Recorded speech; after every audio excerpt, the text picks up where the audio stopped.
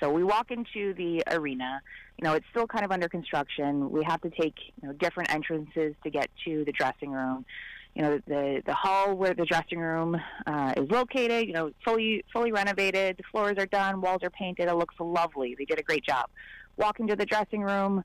Um, finally, see a door on the um, single stall unit because before it was just kind of an open little cove thinking, great, they finally did something to, you know, break down the barriers, um, you know, add facilities for, for my girls and open the door and, and see a urinal. So in the dressing room, you have a shower area and then a single little cove with a door um, protecting.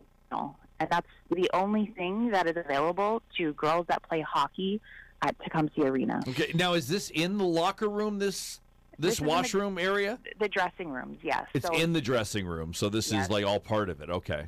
yeah. So then, obviously, and I know this well as you do because I also played hockey years and years ago. Um, so, in order for any of the girls to use the bathroom, right, they got to go to the lobby half changed. concessions. Yeah. Well, you know, in in reality, they they can't right now because the arena is still Mm. under construction. So there's a single unit uh, washroom that is at the end of the hall, which is supporting every um, patron that is attending the arena. It's one uh, family stall uh, that does have a toilet.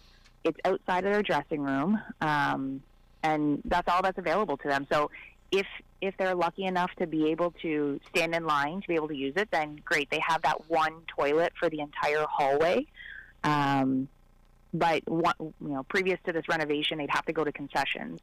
Um, so I, I, I assumed that you know after the renovation was done, that you know in the year 2024 we'd be breaking down these barriers and giving equal opportunity, equal facilities um, to you know both boys and girls. Well, and, and absolutely, and I mean, women's hockey has hit a big milestone milestone in the country. More than hundred thousand girls are now playing across the country. There's been more exposure than ever with uh, leagues like the PWHL.